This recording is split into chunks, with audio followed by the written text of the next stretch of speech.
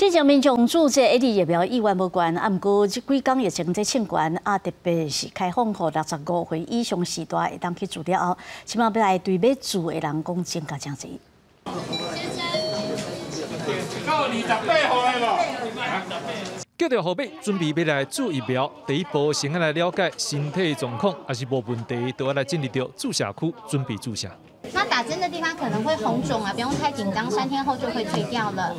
疫情有进步，每一个病院想要来做疫苗的人，会当讲是满满满，像讲是新北市邦桥阿当病院特别设置的六十五岁以上的注射专区，伫拜三一透早八点外，都已经有百万人来接排队。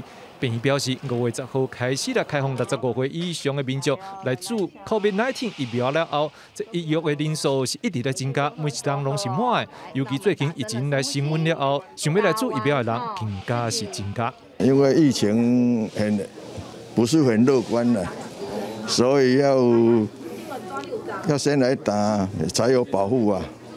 是想说疫情这么严重，赶快来打才有保护力这样子。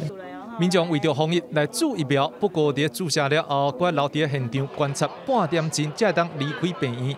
医生讲啊，上定定看到的副作用是，亲如讲人会感觉真深，啊，够会发烧。发烧畏寒大概有三成左右。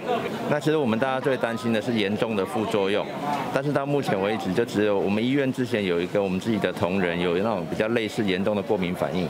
那其他的打到现在，我们大概累计打了四千人了，目前看起来其他就还。好。